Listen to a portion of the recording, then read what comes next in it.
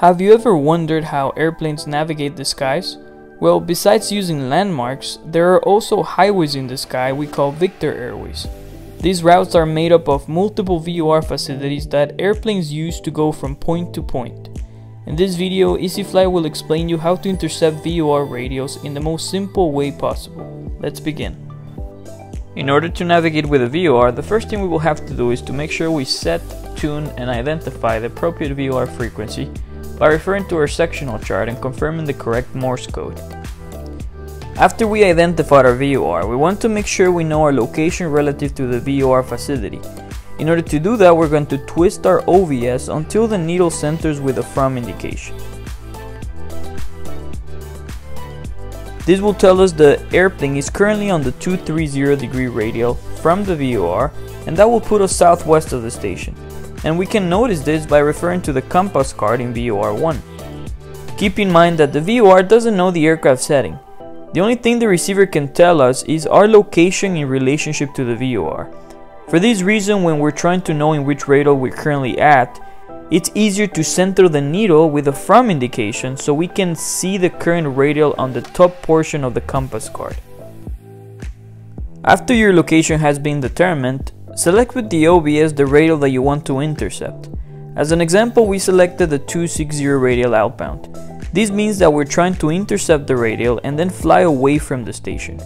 In order to do that, you have to make sure that you see a from indication after selecting the radial. Now, what heading do we fly to get to this radial? The needle will always point to the correct magnetic direction that we have to fly in order to intercept the radial. As you can notice on the compass card, the needle points to headings that range from 265 to 350. Any of these settings will work on getting you onto the selected radial. However, you want to use an angle of intercept that can save you some time in trying to get where you want to. This of course depends on your distance that you have to the VOR facility. As a rule of thumb, a 45 degree intercept angle always works great. That 45 degree intercept angle in this example is noticed by the orange ticker mark in VOR1. In this example, a heading that allows the aircraft to intercept the radial will be a heading of 305, so the aircraft should fly this heading.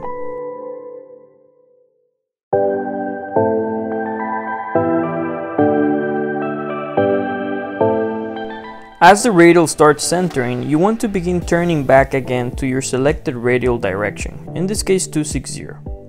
And there you have it guys, the airplane intercepted the selected radial and is currently flying away from the station. Now what happens if we want to intercept the radial inbound so we can fly towards the station? The process for intercepting remains almost the same.